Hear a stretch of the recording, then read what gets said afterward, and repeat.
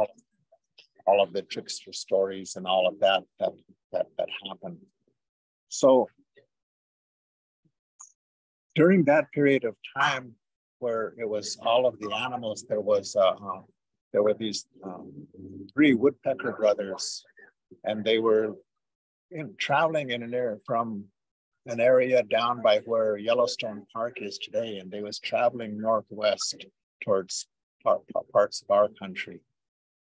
And on that journey, there was a, a, a monster, a water monster. When they stopped to get a drink in one of the streams, the water monster came up and swallowed the youngest woodpecker brother and went back into the water and tried to get away. And so the other two woodpecker brothers proceeded to chase him and they was going after him to try to to try to catch him to try to free their younger brother and they chased him through the water systems from that place all the way up through the northwest up to the northwest part of montana. There's a, the kootenai river that comes from canada goes down through the united states and goes back into canada. And when they was chasing him in that area there was a there was a giant that lived in that area that was that was um, decided he was watching the proceedings and he decided that he would try to help the woodpecker brothers and so he used his arms his forearm to block the river so Yawunik, who is the water monster how he wouldn't get past and so Yawunik came up the river up to his forearm, and then he used his other forearm to block his escape. And so he had him trapped in there. And once he had Yawunik trapped, the Woodpecker brothers were able to catch up to Yawunik and um, and um, cut him open and free their younger brother. And they were so pleased and grateful to the, the giant that helped them. And the giant that helped him, his name was Nashmuktsin. And um, um, after helping them, they uh, they they told they told him, you can have Yawunik, you can have his body to do whatever you want with, and uh, you know as as as as payment as thanks for for what for what for what was going on, for, for what happened, for helping us to save our younger brother. And so Nashmuktsin then reached inside of uh, Yawunik's body and pulled out the rope and threw it across the big waters to the west and said, Where you land, you will be the people, the human beings there. And he reached inside and pulled out the liver and threw it across the big waters to the southeast and said, and where you land, you will be become the human beings there. And he pulled out the tallow out of Yawunik, threw it across the waters to the east, and said, and where you land, you will become the human beings there. So basically what Nashmuktsin was doing was taking Yawunik's body all apart piece by piece and scattering it throughout the earth and to become the human beings. And when he was all done, all that was left was blood. And he wiped his hands on the grass here and said, and, and you will become the human beings here. And so it was said that that um, Nashmuktsin was so big, was so large, that if he ever stood up, he would hit his head on the sky and fall over and die. And so wherever he went, he crawled on his hands and knees. But after he had taken Yawunik and scattered him throughout the earth, he stood up and he hit his head on the sky and he fell over and died. So, uh, what I was saying about um, Google Earth. So, if you Google Earth and go to this this area of the country, you will see you'll see Nashmuktsin, the creator of all of human beings, and he his feet are up in northern British Columbia, and his body stretches down, and his head is where Yellowstone Park is. And you'll be able to see that, you'll be able to see that, that outline of his body there. Now, of course, this this all of these happenings happened way before Google Earth, but Google Earth certainly um, certainly was able to confirm the truthfulness of the story, and so and and that is where all of the human beings came from, was from was from that. Um, now, during the next during the next periods of time when the human beings arrived and they started to travel throughout the throughout the territory, the different um, spirits would step forward that had gone through these battles and would step step forward and help them. And how I would help them was by teaching them a song, teaching them a song, and then um, and then offering some kind of help, whatever it was that they would be able to do to help to help them with them with their health or with their food or with things material things to make life easier. And that that's what that's what they would uh, that that's what those spirits would do for the human beings. And so now this happened for the next 10,000 generations of human beings.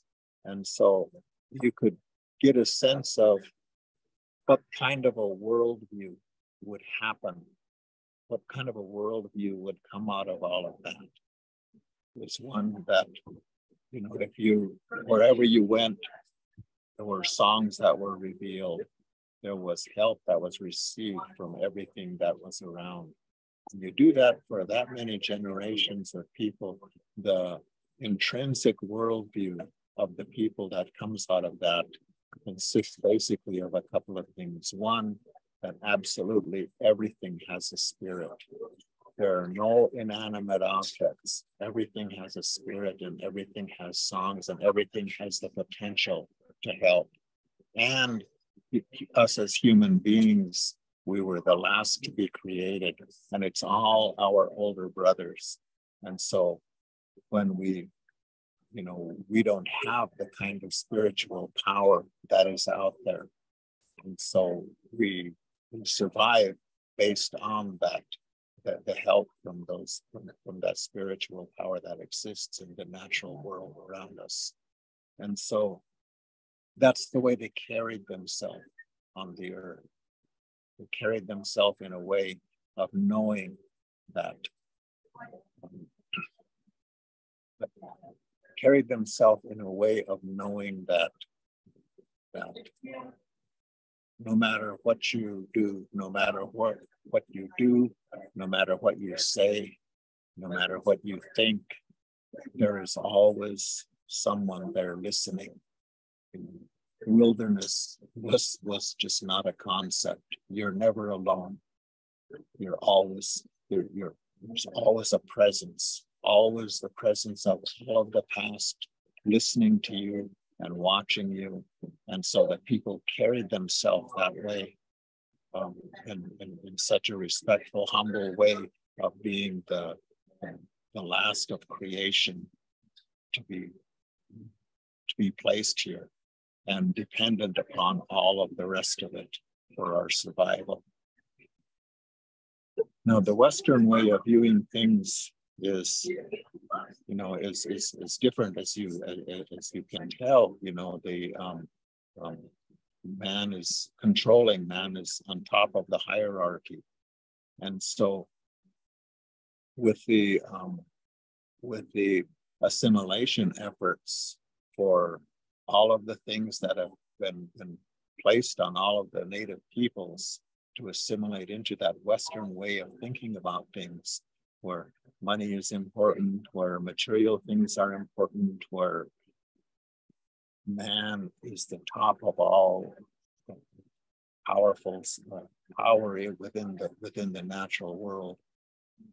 That's a completely different way of looking at it. And so through the assimilation efforts that have taken place, today we are living in kind of a, a continuum that the people are placed somewhere on a continuum of total traditionalism where they carry themselves on the earth. There are folks who carry themselves on the earth the way the ancestors did, all the way to those who accept the total Western way of life, where chasing after money and things are materialism and believing in, um, in the way um, science has figured everything out and, and that, that way of life. And I'm, and I'm not saying that as, as uh, to mean that that's negative and that's a bad way or anything. It's just different. It's a different way of carrying yourself, it's a different way of viewing the world. It has taken over everything, so I can't really say that it's, you know, that that that it isn't powerful because we're all under the influence of the Western world. So, um, but it's just a different way of looking at it. So all of the all of the native people are somewhere on that continuum of carrying themselves, of dancing in the wintertime, of speaking their traditional languages, of carrying themselves on with the awareness of what is of what is around us. From that and all the way into the total acceptance of the Western world all in between there are, are tribal members, are, are Indians who are members of different tribes that are there. So, um, you know, um, that's that's that's basically where we are today. And those some of the some of the people can fit into the Western way and can adapt to it and adjust to it and live just fine and, and move on just fine. You know, we had a tribal councilman who said, you know, I know nothing of the language, I know nothing of the culture, I don't practice any of the old ways, and I'm doing just fine, thank you. And it's true. There's some some folks can adjust to that, but many of the people who try to find a, a, a peace or, or where they are, where they where they're at inside their heart, it doesn't fit. It doesn't fit into the Western way. And that's where a lot of our social ills come from. That's where we see a lot of our social problems coming from. And so that is why the culture committees and the cultural um, revival efforts that are happening within all of the tribes, helping those people to find the place where they fit, to find, you know, the, the people who learn the language and you start practicing the cultures and everything, you find a place where, yeah, this fits, this fits for me, you know, and they find uh, a greater peace and, and a lot of the, the social illnesses um, go away. So, um, so yeah, um, that's that's where we're at right now. And so in in in your classrooms, you will see you will see tribal people that are somewhere on that continuum. And so some of the folks, like I said, have adjusted to they they they look just like me, but they they have adjusted to Western way of life so much so and are and are doing just fine. And that's okay. And that's good. There are others who are having trouble finding their place, finding their identity, finding what fits for them, finding the truth that is really in their heart. And they're the ones who need who need to be guided towards um, going to traditional folks and learning and learning more of the language and learning more of the, the their own tribe's history and culture and, and the ways of carrying themselves. And it will and it will fit for them a lot better so um, I hope that uh, this uh, our our short little little um, stint through here, and I and I raced through. You know, a friend of mine was telling me that whole creation story, and we started one evening, and and the next morning um, we got to the place to where human beings were around, and his grandmother the sun was coming up and his grandmother come out of the house and called us in to, for breakfast. So, but I gave you the, even the um, uh, minutest uh, part of the Reader's Digest version of, of, of, of the story. But I hope that you get kind of a sense of you've been able to get kind of a sense of, of you know some of the issues and, and, and where and, where where we are as tribal people. I want to thank um, OPI for um, Indian Education for All because pushing for that has really helped an, an awful lot of people to understand traditional ways a little bit more.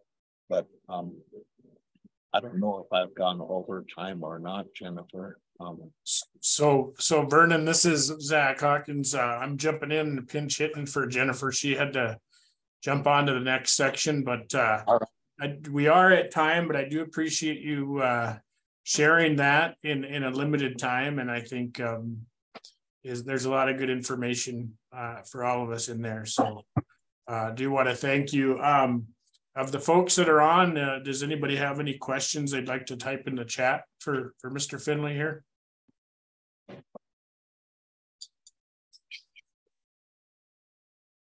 Yeah, I want to thank you for this opportunity. You know, I, I the way that I look at it, okay, technology, you know, it was those, it was the um, uh, um, it was meant to be the way that it was shortened. I was supposed to give you only this version. All right, uh, we do have a, a question here from Kevin Crawford, who's over in Heart Butte. Says, can you describe a magpie as black and white or white and black? But if we don't introduce them to our children, they will have no color. So maybe that's an inside joke.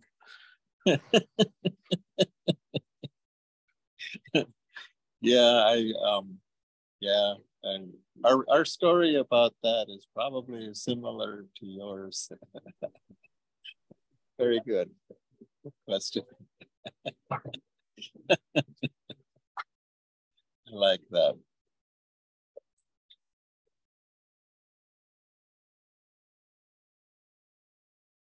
All right. Magpie probably has kind of serves the same role in there, you know, the uh, one who we give the um, magpie name uh, to um, is the one who is all over and chattering and into everybody's business and everything. You know, that's a good that's a good Indian name for somebody that that, that has that kind of uh, those kinds of uh, social skills. All right. Um, I was going to ask you to. Um, so I'm familiar with the um, the the Kootenai tribe up in Cranbrook. On their their website, there's a creation story, but is that a different variation or same as the like the Kootenai and uh, like where you are? Yeah, you know, um, that's that that that's uh, that's a that's a really good question because um, you know when I was growing up, would hear the different stories told slightly different from different people. And I used to speak with, I, I, shared a bedroom with my grandfather growing up. And when I would, when I would talk to him about, uh, about things and he would say, you know, the reason why, you know, um, that, that, that, that's a, that, that's a good educational question because he said, you know, the way, when you hear a story and the way that you understand it and the way that you hear it and the way that you understand it is right. It's the right way. It's the right way for you to understand for today. And and and when and and when the um and next year, if you hear that same story again and you get something else out of it, that that is also right. So it wasn't, you know, there wasn't such a thing as um, well the moral of the story is this or this is what you're supposed to get out of that story. This is what you're supposed to learn which is really an important concept in education because from the traditional Kootenai view, one of the most disrespectful things I could do to you is to tell you how you're supposed to understand something what it is that you're supposed to understand. And, and in Western education, that's everything. The whole purpose is for you to memorize certain things we call facts. And the more that you memorize and can regurgitate them on the test, uh, the more educated you're considered. But in traditional Kootenai way, your growth, uh, your growth through your understanding, the way that it is, is right. It's, it's the right way that you're supposed to that you're supposed to do it. So you know, um, so with stories, it's the same thing. What you get out of it, and, and what they get out of it, and what what they have put on their site, and the way that they get what they get out of it is um, is probably different than the way that I do now. And if you went through and looked at it again, it might even you might even understand things a little bit differently the next time. And that's and that's right. That's that's the uh, right correct way. There is there isn't um, in traditional Kootenai view there isn't a, there isn't one right answer for everything that fits for everybody at, at any given time. So so you get you get what you need when you need it. Absolutely. Yep. Yep. And the most respectful thing I can do to you is to share with you what I know and the way that you understand what I shared with you is right. And I'm not supposed to tell you how you're supposed to interpret it. Right. Yeah, that's some powerful insight when you think about, like you said, Western Western education models and, and Native children. Yeah. All right. Well, I do appreciate your uh, being here with us today. Um, I need to hold on. So I'm going to stop recording. So let's see. The um, the Kootenai language is a, a considered a language isolate by the by the linguists, you know, the um, the by isolated means, you know, the linguists have they've gone through their whole studies, doctoral studies to link the different tribal languages into different families. And um, but the Kootenai language doesn't fit into any of the families, and so that they're they're considered a language isolate, which for me is the strongest um, argument or the strongest position um, that says, you know, the Kootenays were always right here. There is no other language. Uh, it doesn't fit into any of the language families anywhere in the world. We didn't migrate anything. We're, we're we were we were um, always right here, and so um, the the you know some of the sounds are slightly different than in than in English. Um, and I'll go through some of it, uh, some of it with you. You know, and and and having the correct sound is pretty important as far as what you what you're meaning. You know, um, because Akash um, means um, means a cloud. You know, and so there's um, and then there's Akash and Akash, and that are that sound similar, very similar to to uh, to Ottawa, but those are three completely different. You know, one is gloves and one is um, like a sack, a gunny sack or something, and then the other is a cloud. So how you pronounce something is is is, is pretty important as far as what, what what the meaning is. And so that has kind of been uh, and and um, the major emphasis in the in the Kootenai language and, and learning the Kootenai language. But the um, um, but the, the the part that I wanted to share with you mostly was about the uh, how um, you know languages have to adapt to the world around them, and how and and and how new words come into a language is of critical importance because the way that we're trying to teach it is we're teaching it so that so that uh, um, uh, the rules within the grammar structure are are followed in in coming up with the new words. For example, there's a couple of ways that um, that uh, new words come in. Um, one word, you know, or is is uh, using phonetics. One way is using phonetics, like um, there is no p p sound in the Kootenai language. Um, the closest that your your your mouth can come to, within the Kootenai language of saying a P is uh, is I mean I mean I'm I'm sorry there's a P but no F as in Frank um, and so the closest you can come to an F sound is a is a P sound and so um, so the word coffee you know there was no sound in in the Kootenai language and so people um, more recently um, use the word copy because there's there's a P sound but no F sound. So they say copy.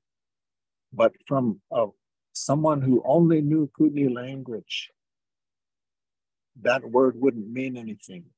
There is no, there is no, uh, you know, there, there would, if they heard the word, it wouldn't attach any meaning to it.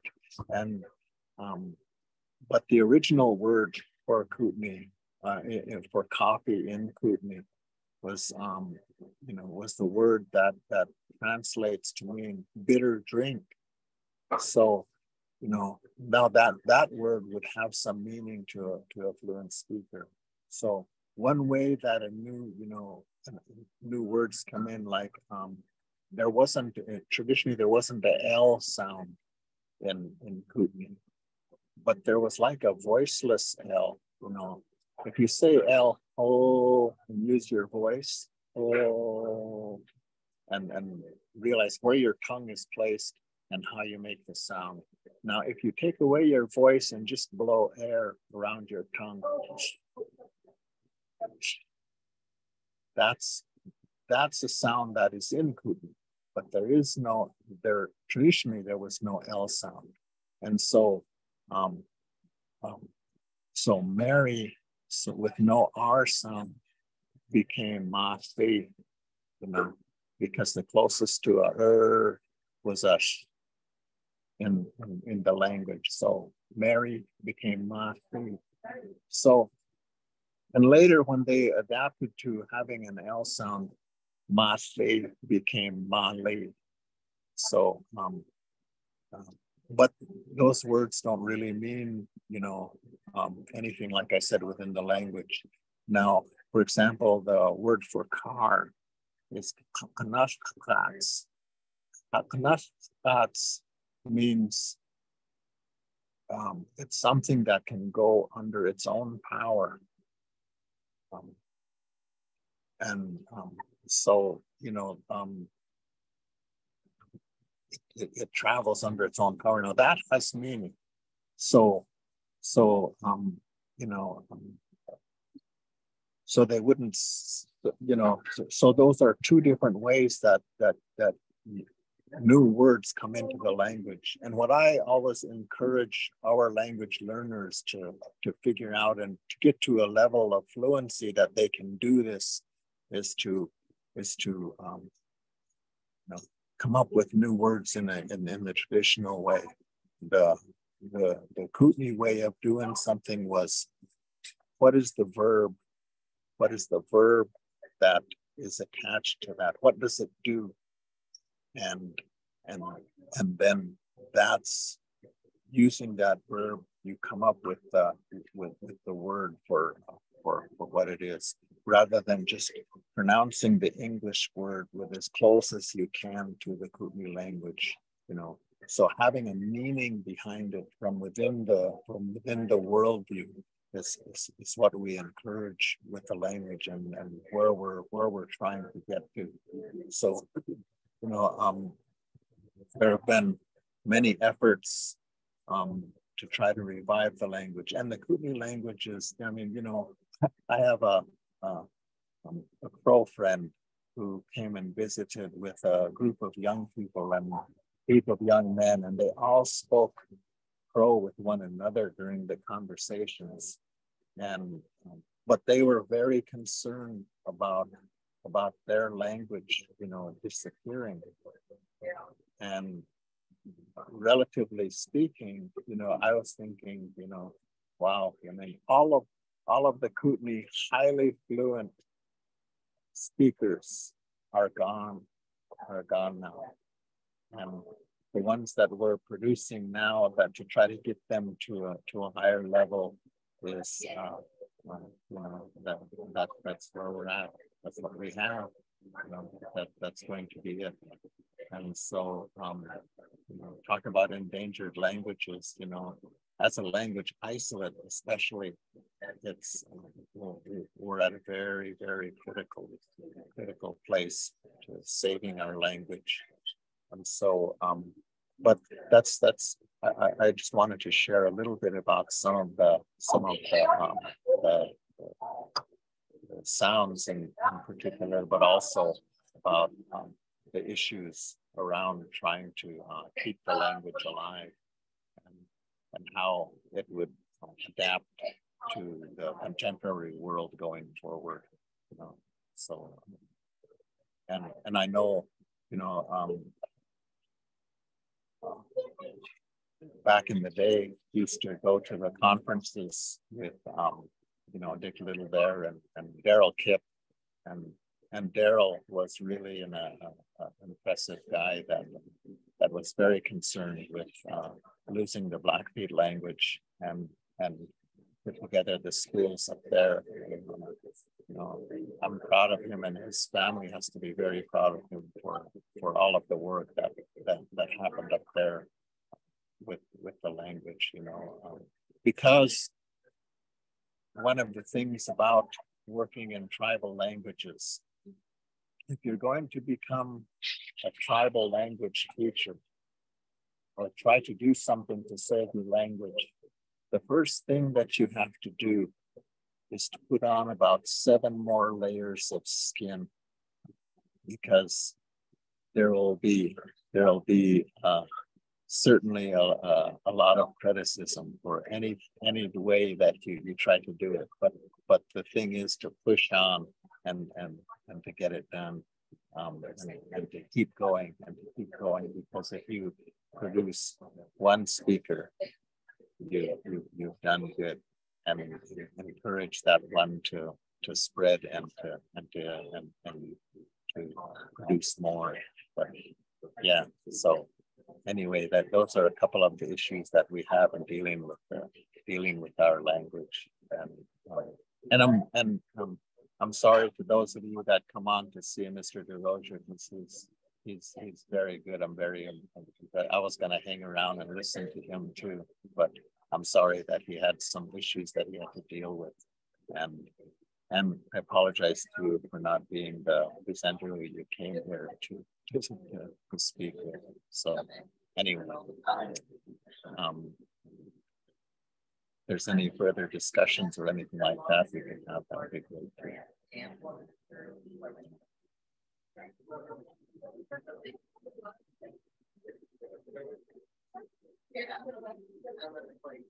Oh, thank you.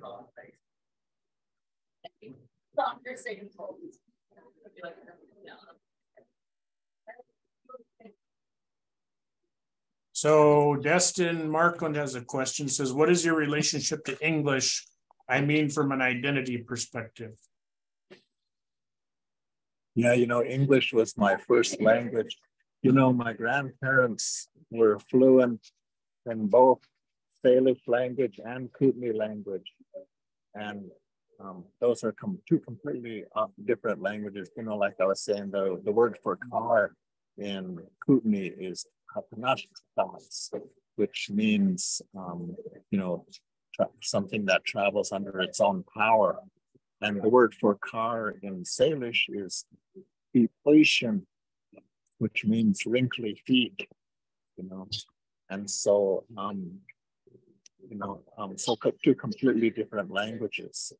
Um, but they never, they never taught um, me either of them. And in fact, they kind of, you know, avoided um, me trying to, uh, when I would try to hang around and learn more, they, they avoided that and they encouraged me not to learn the traditional language, not to learn because my grandmother saw it as something that um, that hindered her in in the contemporary world that it held her back and she was always pushing pushing me to get educated you know, in the Western educational system and always encouraging me to be educated that way. Um, like I said, I shared a bedroom with my grandfather, and he and I at, at night, you know, he would tell me things and he would ask me things, and he was kind of pushing, you know, he knew that um, in the future that a traditional worldview is what would be my saving grace. And so, um, and so, yeah, so I, I, I, he was a medicine man, and I, and I, I've seen some amazing things and experienced some amazing things, and was able to um, know for a fact and and know in my heart, you know, the way the ancestors carried themselves, that everything really does have spirit and everything has power and everything has the ability to help us. So, um, you know, because of my experiences firsthand.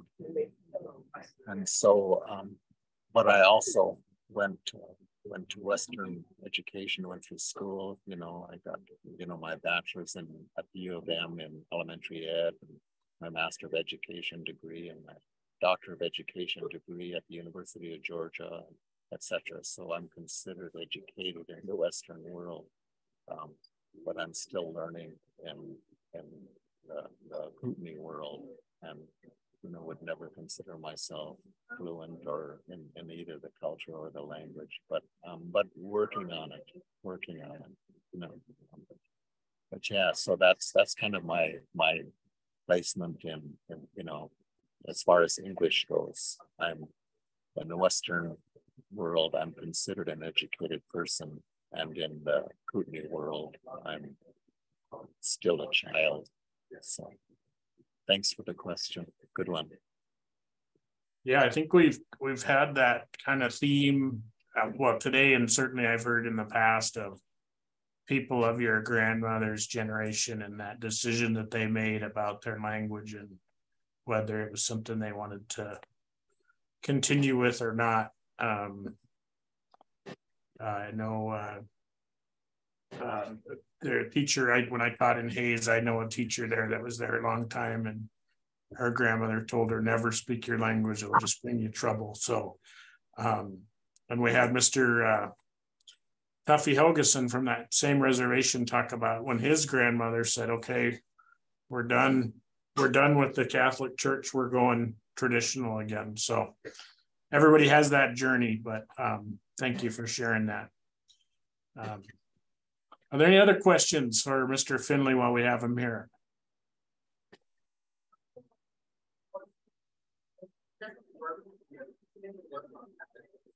So I was curious, um, yeah, you know, because there's we have the Kootenai uh, on Flathead. We have the Kootenai in Idaho, and we have Kootenai, and maybe I know there's Kootenai in Canada, but um, maybe share a little bit of that distinction, maybe between those those groups. You know, um, as far as the language goes, you know the um, you know when languages um, when they kind of split up and they kind of break apart, like the like for example the Salish language the Bitterroot Salish and uh, uh, who, who they call the Kalispels. Um, they, it's actually a mispronunciation of their word for themselves, which was Kalispe. But the Kalispe and the Bitterroot Salish and the Spokanes and the Coeur d'Alenes and some of the Caldas all speak different dialects of Salish language. And so when the when a language, the, the, the band split apart like that, over time, the development of it, of each of those, you know, they become different dialects, what's called, and then the, you know, and and so there there there's a lot of similarity. They they have the same understanding, and the, the core is still the same, but some things are some things are different. Surprisingly, with the Kootenai language, there isn't much there isn't much difference. You know, things didn't change that much throughout with with the, the separation of the different bands. You know, uh, the word for uh, bear, for example, here Ksanka in the, the Ksanka language here on the on the Flathead Reservation, our way of saying it is Nupku. And in Canada, they say it Nipku, you know. So it's just just the differences are are um, are surprisingly not not that that that great, you know. And a lot of the understandings and, and, and everything are, are are pretty much the same, which is kind of interesting. I mean, and for example, you know, the word for Kootenai, um, Kootenai, that word has no meaning in our language. You know, it was what somebody else called us. I was at a language conference um, and there was a lady who was um, Northern Dene, Northern Dene. And the reason they called it Dene was because there was um, Northern Dene because their language was similar to the Navajo, which was, you know, considered Dene. But their languages were kind of the same. But the, there was a there was an elderly lady from the Northern Dene, and I was and she heard me say make the statement that Kootenai doesn't mean anything in our language, and she told me, well, the reason why is because it's from our language. In our language, Kootenai means river people, you know. And I thought, oh, wow, okay, that's where it came from. And but they were further out on the plains. But then when the, you know, when the um, the traders were coming through and, and and making trading posts on their way west, and they was there um, um, traded there with the northern Dene and was asking, okay, who's that next group of people further over in the mountains? Who are them? And so they told them, them oh, they're they're Kootenai, you know. And so um, so that's what we that's what they start calling us. Just like here on our reservation, it's called the Flathead Reservation because Lewis and Clark assumed that they was getting coming in contact with a group of people that had that they knew had a habit or or a cultural um, practice of flattening their children's heads. They would place a pressure on it um, and, and shape it because the long forehead was considered um, considered uh, uh, handsome or, or, or a thing, uh, uh, you know, beautiful. But it wasn't the tribe here that did that. It, was there, there is a tribe that did something like that over further out on the coast, and but um, but Lewis and Clark that thought that was the tribe that they came upon, so then they called them the Flatheads. But it was completely different. So Flathead and Kootenai are really, are really not, not what we are from ourselves. And it's just, just almost every tribe has the same thing, you know. Mm-hmm. Um, you know, Bay. Kalispel is actually a mispronunci- mispronunciation of Place Bay and things like that. So. Mm-hmm. more accurate than Indians. That's a Destin. Yeah, yeah, yeah. You know, um, so that's and and and people, you know, I had somebody who you know was um who um said that you know um call called us Indians and said he asked me a question about Indians, and then quickly apologized and said. Um, I'm sorry. I'm sorry. I, I didn't mean to say Indians. I, I I mean I meant Native Americans. You know, I'm sorry, you know, and but well, I mean, one is accurate as the other one. There's there's no harm done, no foul. I I I always have said Indians, you know, yeah, yeah, I'm an Indian, you know, uh, which wasn't which wasn't and you know, so uh, yeah, just just what different people call, call not much not much accuracy with throughout we get that question a lot from folks when we do professional development about what, what's the right term. And we say, you know, any of those, yeah, is probably okay. But really, if you can be tribally specific, that's the best.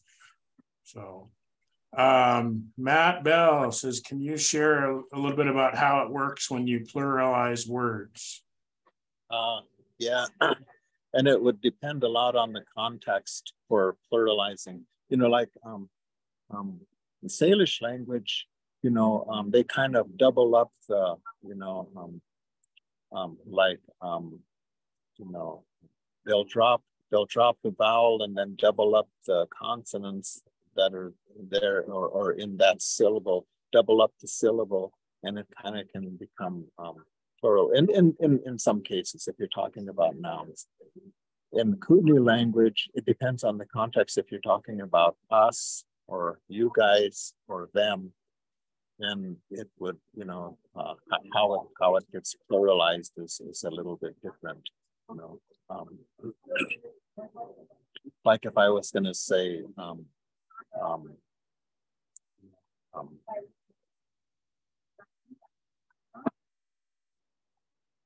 oh, um, my my cup, huh? My cup is um, Atsunana, you know.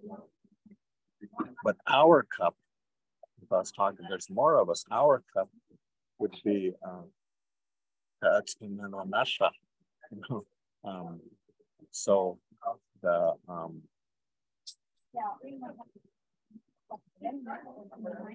there's different um, prefixes and suffixes that add when you pluralize something as far as um, as far as you or I or us, but pluralizing something um, if it's somebody else, then it's then then then it's changed a little bit different. And if it's if it's third person or even and and the Kootenai language, there's fourth person as well.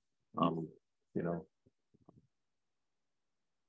it, would be said a little bit differently. Uh, but yeah, it, it, that, that that's the, that that that would take quite a bit more of a, a lengthier discussion to talk about um, pluralization. Yeah, that, that, that gives you a taste of it anyway. Fascinating. Do we have other questions for, for Mr. Vernon here while he's here?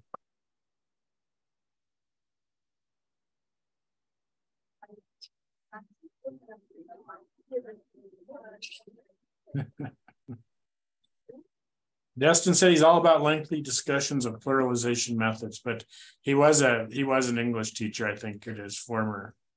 So. Um, oh yeah. Oh, but yeah. so what I'm understanding you to say there is that it's not so much a plur. It's it's a, almost like a pluralization of ownership or belonging or something. Yeah, and and the context, you know, and the context of what you're speaking about also. So you know, it, uh, yeah. Yeah, that's that's a long one. Yeah. All right. Well, if there's nothing else, um, we can probably go ahead and close this out and and thank you, uh, Vernon, for being here and and uh, working with us. And I guess the the lesson is right. We everything happens the way it's supposed to happen. So today, uh, you were meant to be here for Jesse, I guess. yeah, I guess that was the reason I was late, and the reason my part didn't work out was because I was supposed to intrude on his. You know, yeah. there's a and, and and and there's a coyote story in that. You know, the the Kootenays and the and the Blackfeet were all always kind of ribbed one another anyway. And I was, you know, I I'm a stick game player and I love to put you know um, historically, I mean throughout my life, the best games that I've played and the most fun games were when uh, when I played the Blackfeet because uh, because we rib each other and tease each other and and are always uh, always at each other that way as well. But uh, but the stick game family is is one big family, and and, you know. And, and my grandfather used to tell me that you know historically there wasn't an awful lot of killing that happened in the you know in the in the Medicine Mother. A lot of taunting and a lot of that kind of stuff, and you know, um, going on um, between between the tribes, but wasn't an awful lot of killing. So you know, it it, it gets to that. You know, it, it it it turns into that, but but um, not really. And and so that's that's the part that that still goes on today. You know, some of the the, the folks that I rib the most and that we debate the most with are my Blackfeet friends, and but they're also some of my some of my best friends as well. So it's it's it's it's it's, it's good it's good. So um, somebody coming in and stepping on um, stepping on Jesse's time here, you know, was uh, was was a Kootenai was a Kootenai Blackfeet thing. So you can tease him about that next time you see him. yeah. All right. I appreciate those of you though who came on who came on to see Mr. DesRosier and and ended up seeing uh, Kootenai guy instead, and, and I appreciate you, you, you staying on anyway. All right, we uh, yeah, we need to hear. We need more Kootenai stuff. I think that's one of those things that we need more of. So today was a good day. All right, good. All right. Well, thank you again. Thanks, everybody. I guess I'll give you about 15 minutes of your time back today. Go out there and, uh, I don't know what it's doing where you are, but it's starting to get sunny here in Helena. So, um, yeah, gonna go out and enjoy some sunshine for the rest of the afternoon. But uh, thank you, everybody who who attended and stuck it out all day today. I uh, hope you got a lot out of it. Uh, just just pleased and thankful uh, that we got so many folks and so many good presenters. And thank you again, Vernon. And I'm I'm sure our paths will cross again. So all right. Yeah, you know, um, it's, it's, yeah, you better get out and grab some sundew because later on it'll probably snow again. So.